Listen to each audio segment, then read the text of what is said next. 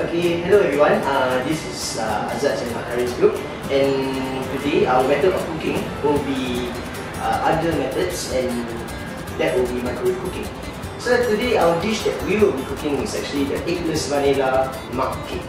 And yeah, let's get started. So the ingredients that you need is 4 tablespoons of flour, 1 and a half tablespoon of powdered sugar, half a pinch of baking soda, 1 tablespoon of condensed milk, 2 tablespoons of milk, 2 tablespoons of melted butter, and finally half a teaspoon of vanilla essence.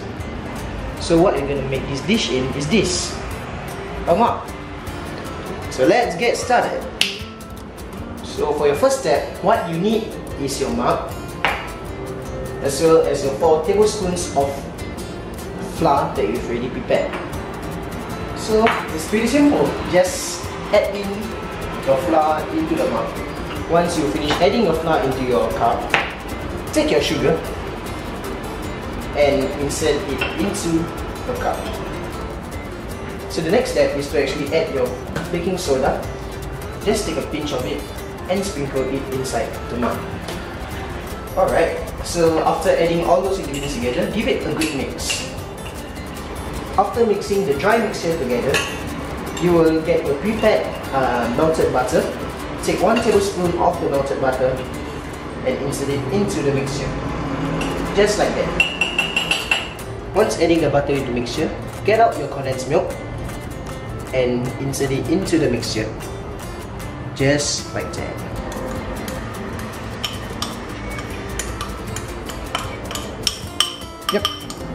The next thing you're gonna do is to add 1 tablespoon of milk and insert it into your mixture. The next thing you want to add is half a teaspoon of vanilla essence. So the next thing you want to do is mix the mixture together. Mix it well until it is nice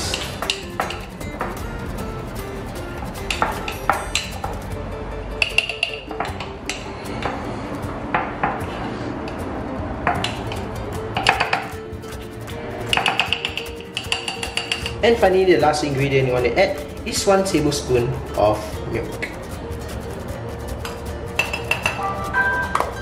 And mix it well.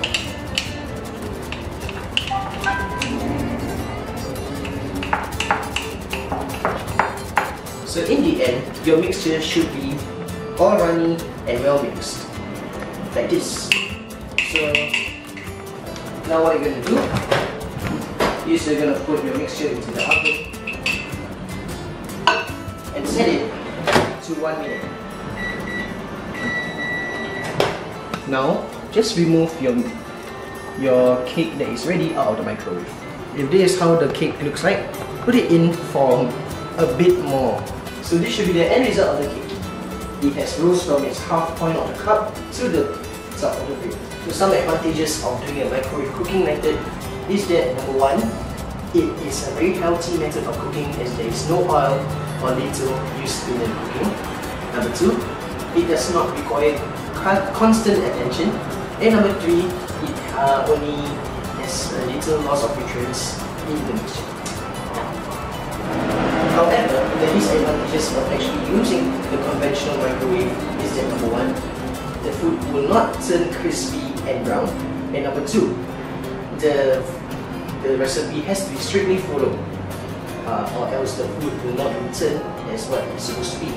Safety precautions of actually using a conventional microwave is that number one, always use a microwave safe container and number two, you should always use a mitten or a cloth when you want to take out your food from the microwave oven as it may be hot on the surface. So I hope you guys actually enjoyed this video. Hope you like it and thank you so much. Bye bye. Bye. siao, how to open this, yeah? Chilling.